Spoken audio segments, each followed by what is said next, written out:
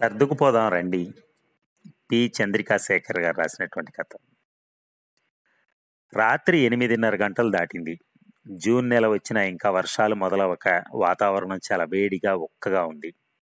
సెల్లార్లో car park చేసి అలసటగా lift ఎక్కింది దివ్య. ఒక్క నిమిషం నిలబడితే చాలు కళ్ళు మూసుకుపోతున్నాయి. ప్రాజెక్ట్ చివరి దశకొచ్చింది అనే ఊపిరి తీసుకునే లోపు అనుకోకుండా ఒక ఇష్యూ వచ్చింది. రెండు రోజుల నుంచి టీం అంతా ఆ పని మీదే శ్రమిస్తున్నారు. చివరికి అది ఈరోజు కొలిక్కొచ్చింది.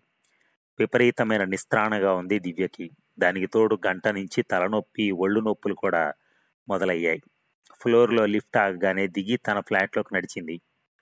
సాగర్ ఏం చేస్తున్నాడో అనుకుంటూ. తన దగ్గరున్న కీతో లాక్ ఓపెన్ చేసి లోపలికి నడిచింది. సాగర్ హాల్లోనూ బెడ్రూమ్లోనూ కూడా లేడు. సిట్అవుట్లోకి వెళ్ళింది దివ్య. అక్కడ తన పెయింటింగ్ మెరుగులు దిద్దుతూ దివ్య రాకను కూడా పట్టించుకునే స్థితిలో లేడు సాగర్. చిన్నగా నిట్టూరిస్తూ లోపలికి నడిచింది. వేడి నీళ్ళతో స్నానం చేసి నైట్ డ్రెస్ వేసుకుని రాగానే కొద్దిగా రిలీఫ్గా అనిపించింది. జుట్టుకు క్లిప్పు పెట్టుకుంటూ డైనింగ్ టేబుల్ దగ్గరికి నడిచి గిన్నెలు మూత తీసి చూసింది. పొద్దున్న చేసి పెట్టిన ఐటమ్స్ అన్నీ అలాగే ఉన్నాయి. కూరలన్నీ ఓవెన్లో వేడి చేసి రైస్ కుక్కర్ మళ్ళీ స్విచ్ ఆన్ చేసింది. సాగర్ లంచ్ కూడా చేయలేదంటే పాపం ఉస్సూరుమనిపించింది. అన్ని టేబుల్ మీద సర్ది మళ్ళీ సాగర్ దగ్గరికి వెళ్ళింది దివ్య. ఇంకా అదే భంగిమలో ఉన్నాడు అతను. ఇంట్లో తన ఉనికి అతన్ని ఏమాత్రం డిస్టర్బ్ చేయలేదన్నమాట. సాగర్ గట్టిగా పిలిచింది దివ్య. అప్పుడు ఈ లోకంలోకి వస్తూ హాయ్ దివ్య చెప్పు. తల తిప్పకుండానే అడిగాడు సాగర్. భోజనం చేద్దాం రా నువ్వు లంచ్ కూడా చేయలేదు? పిలిచింది. సారీరా ఇంకో గంటలో నా పని అయ్యాక తింటాను. నువ్వు తిని చెప్పాడు సాగర్. అది కాదు అంటూ దివ్య ఏదో చెప్పబోతుండగా మొబైల్ రింగ్ అయింది. సాగర్ ఫ్రెండ్ అనిల్ కాల్ చేస్తున్నాడు. ఫోన్ లిఫ్ట్ చేసి హలో అనిల్ ఎలా ఉన్నావు? అంది దివ్య. నేను బాగున్నాను కానీ ఏమైపోయాడు మీ వాడు? పొద్దుటి నుంచి కాల్ చేస్తున్నా లిఫ్ట్ చేయడే. నాకు రెజ్యూమ్ పంపాడు కదా నేను అది చూపించి మా బాస్తో మాట్లాడాను. సాగర్ని ఈరోజు వచ్చి కలవమన్నారు ఆయన. ఆ మాట వాడితో చెప్పాలని మార్నింగ్ నుంచి కాల్ చేస్తుంటే రెస్పాన్స్ లేదు. ఈరోజు మా బాస్కి ఏదో సర్ది చెప్పాలే కానీ రేపు మాత్రం వాడిని తప్పకొచ్చి కలవమను. లేట్ చేస్తే ఆఫర్ మిస్ అవ్వచ్చు అని చెప్పాడు అనిల్. సారీ అనిల్ నేను మాట్లాడి రేపు తప్పగా పంపుతాను. చెప్పింది Divya.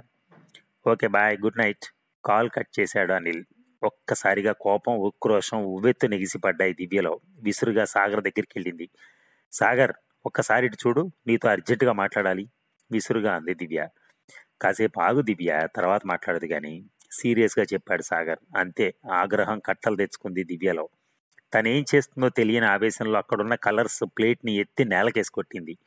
మొత్తం రంగులన్నీ అక్కడ చెందడమే కాక కొన్ని రంగులు సాగర్ వేస్తున్న పెయింటింగ్ పైన చిమ్మినట్టుగా పడ్డాయి. నిమిషంలో ఆ అందమైన బొమ్మ కాస్త రంగులతో వికృతంగా మారిపోయింది. నిశ్చేష్టుడయ్యాడు సాగర్. జరిగింది అర్థమయ్యేసరికి అతనిలో కోపం కట్టలు తెంచుకుంది. దివ్య నువ్వేం చేస్తున్నావు? నీకు అర్థమవుతుందా? గట్టిగా అరిచాడు. అసలు నువ్వేం చేస్తున్నావు? నీకు తెలుస్తోందా? జాబ్ కోసం ఎన్ని రోజుల నుంచి వెయిట్ చేస్తున్నావు? మంచి ఆఫర్ వస్తే నువ్వు ఫోన్ లిఫ్ట్ చేయకుండా రంగులు పులుముకుంటూ కూర్చున్నావు. కోపంగా అంది దివ్య. దివ్య నీకు తెలుసు కదా నేను ఒక పెయింటింగ్ మొదలెడితే అది పూర్తయ్యేదాకా మూడు మూడులోంచి బయటికి రాలేనని చెప్పాడు సాగర్. తెలుసు సాగర్ నీలో నా కళను చూసే నేను ఇష్టపడి కోరి నేను పెళ్ళి చేసుకున్నానని కూడా తెలుసు. కానీ ఇది ఒక్కటే మన అవసరాలు తీర్చదు సాగర్. సంసారం అంటే ఎన్ని ఖర్చులు ఉంటాయి? వాటికి తోడు ఫ్లాట్కి కారుకి ఈఎంఐ కట్టాలి. ఇవన్నీ నా ఒక్కదాని వలన ఎలా అవుతాయి? ఆలోచించవా నువ్వు? అని కోపంగా అడిగింది దివ్య. నేను నా ప్రయత్నం చేస్తూనే ఉన్నానని తెలుసుగా దివ్య. నాకు మాత్రం బాధ్యత తెలీదా? బాధగా అడిగాడు సాగర్. ఏమో సాగర్ నాకైతే నువ్వు సిన్సియర్గా ప్రయత్నిస్తున్నట్టుగా అనిపించట్లేదు సోమరిపోతల ఇంట్లో కూర్చుని రోజుల్లో రంగులు పూసుకోవడానికి అలవాటు పడిపోయావు. నీలాంటి బాధ్యత లేని వాడిని పెళ్ళి చేసుకుని తప్పు చేశాననిపిస్తోంది. ముందు ఉద్యోగం సంపాదించి అప్పుడు మాట్లాడు. విసురుగా అనేసి లోపలికి వెళ్ళిపోయింది దివ్య. డైనింగ్ టేబుల్ దగ్గర కూర్చుని ఏదో తిన్నాననిపించి లేచింది. మళ్ళీ సిట్అవుట్లోకి వచ్చింది. అక్కడ సాగర్ లేడు. హాల్లోకి వచ్చి చూసింది. చెప్పుల స్టాండ్లో అతని చెప్పులు కూడా లేవు. అంటే బయటికి వెళ్ళిపోయాడనమాట పోతే పోని ఎక్కడికి వెళ్తాడు కాసేపటికి తానే వస్తాడు అని కోపంగా అనుకుంది దివ్య. ఆఫీసులో చికాకులన్నీ తన మెదడులో తిరుగుతుంటే ఇక అంతకన్నా ఆలోచించలేకపోయింది. సాగర్ దగ్గర ఇంకో కీ ఉంటుందని తెలుసు కాబట్టి డోర్ లాక్ చేసి బెడ్రూమ్లోకి వెళ్ళి పడుకుంది. తెల్లవారి కాలింగ్ బెల్ మూతకు మెలకు వచ్చింది దివ్యకి. అతి కష్టం మీద మంచం దిగి వెళ్ళి డోర్ తీసింది. వచ్చింది పని మనిషి వనజ. ఏమ్మా ఇంకా లెగలేదా? అనుకుంటూ లోపలికి వచ్చింది ఏమీ మాట్లాడే ఓపిక లేకొచ్చి సోఫాలో పడుకుంది దివ్య. రాత్రి వచ్చిన తలనొప్పి ఒళ్ళు నొప్పులు తగ్గకపోగా జ్వరం కూడా తోడైంది. అలా ఎంతసేపు మగతగా పడుకుందో వనజ వంటింట్లో పనంతా పూర్తి చేసి హాల్లోకి వచ్చి అమ్మా అని దివ్యం తట్టి లేపుతూ ఉలిక్కిపడింది అయ్యో దివ్యమ్మ జ్వరంగా ఉందే అంది. అవును వనజ బాగా నీరసంగా ఉంది. కాస్త కాఫీ ఇస్తావా? నీరసంగా అడిగింది. అయ్యో మీరు మొహం కడుక్కురండి అమ్మా ఈలోగా కాఫీ కలుపుకొస్తాను అంటూ వంటింట్లోకి నడిచింది. దివ్య ఫ్రెష్ అయ్యి వచ్చేసరికి వేడిగా కాఫీ ఆమె హ్యాండ్ బ్యాగ్ కూడా తెచ్చి ఇచ్చింది వనజ. బ్యాగ్లోని ట్యాబ్లెట్ తీసుకుని కాఫీతో పాటు వేసుకుంది. వనజ కూడా కాఫీ కప్పు తెచ్చుకుని అక్కడే సోఫా పక్కన కూర్చుంది. ఒక పావు గంట కొంచెం రిలీఫ్గా అనిపించింది దివ్యకి. తర్వాత ఆఫీస్కి కాల్ చేసి లీవ్ చెప్పేసింది. అమ్మ బాగా నీరసంగా ఉన్నారు. నా పనులన్నీ అయిపోయాయి. మీకు వంట చేసి పెట్టి వెళ్తాలేండి పూటకి అంటూ లోపలికి వెళ్ళింది వనజ. అలాగే ఆలోచిస్తూ కూర్చుంది దివ్య. కుక్కర్లో అన్నం ఇంకో స్టవ్ పైన పప్పు పెట్టి బెండకాయలు తీసుకుని వచ్చి సోఫా పక్కన కూర్చుని కట్ చేస్తోంది వనజ. అప్పటిదాకా వనజ నుదుటి మీద ఉన్న ప్లాస్టర్ని గమనించలేదు దివ్య. ఏమైంది వనజ? ఆ దెబ్బేంటి? ఆందోళనగా అడిగింది. ఏం లేదమ్మా రాత్రి మా ఆయన తాగొచ్చి గొడవ చేశాడు. అనుకోకుండా నన్ను నెట్టాడు. తల మంచానికి తగిలి తాకి దెబ్బ తలిగింది అని చెప్పింది వనజ. అదేమిటి? అలా తేలిగ్గా చెప్తున్నావు. అయినా పెళ్ళాన్ని కొట్టడం ఏమిటి? నువ్వెందుకు ఊరుకున్నావు అసలు? అని కోపంగా అంది దివ్య. ఆడు మంచోడేనమ్మా. ఏదో ఈ మధ్యన పరిస్థితులు బాలేక అలా తయారయ్యాడు చెప్పింది వనజ.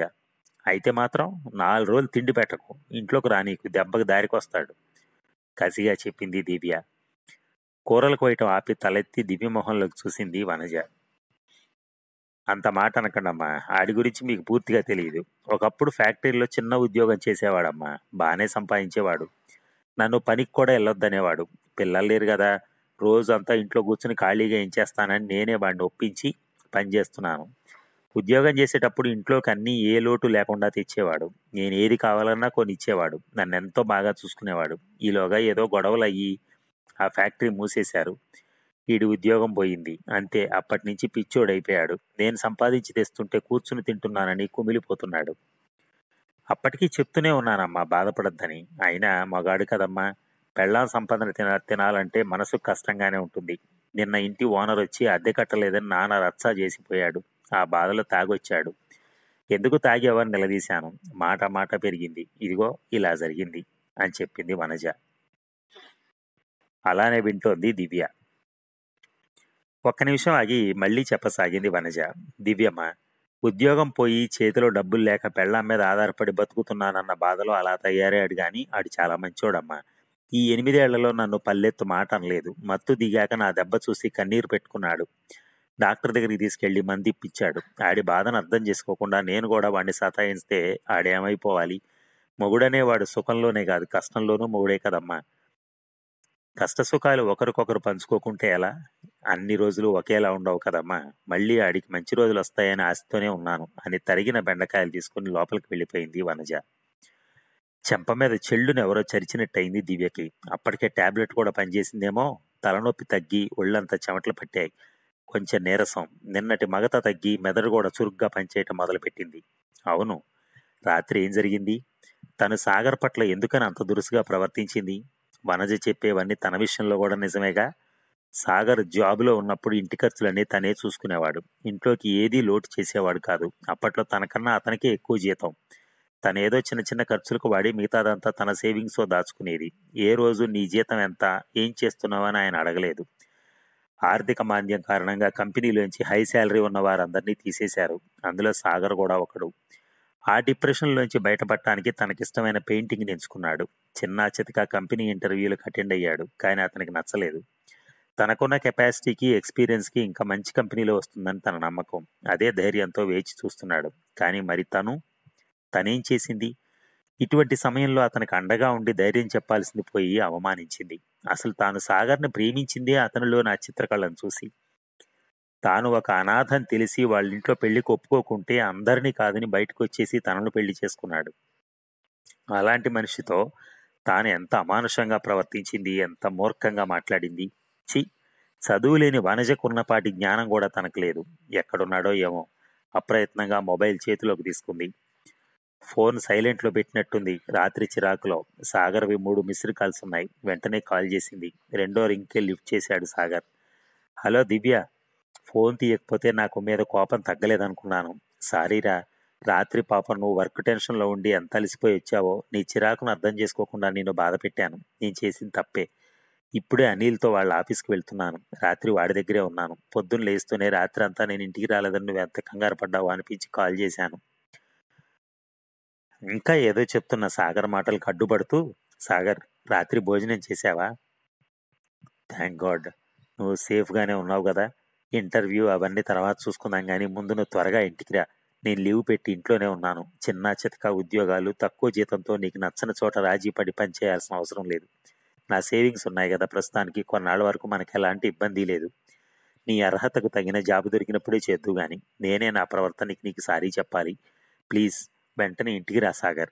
అర్థింపుగా చెప్పింది దివ్య. ఏమైంది దివ్య? లీవ్ ఎందుకు పెట్టావు?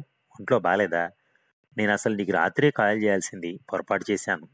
సరే ఇప్పుడే బయలుదేరుతున్నా అంటూ కాల్ కట్ చేశాడు సాగర్. అమ్మగారు వంట పూర్తయింది నేను వెళ్ళొస్తాను అంటూ వచ్చింది వనజ. అప్రయత్నంగా వనజ రెండు చేతులు పట్టుకుని థ్యాంక్ యూ వనజ అంది దివ్య. చిత్రంగా చూస్తూ బయటికి నడిచింది వనజ. ఆమెను పంపి తలుపు వేసి హుషారుగా లోపలికి నడిచింది దివ్య. మబ్బులు వెలిసిన ఆకాశంలా ప్రశాంతంగా నిర్మలంగా ఉంది ఇప్పుడు ఆమె మనసు.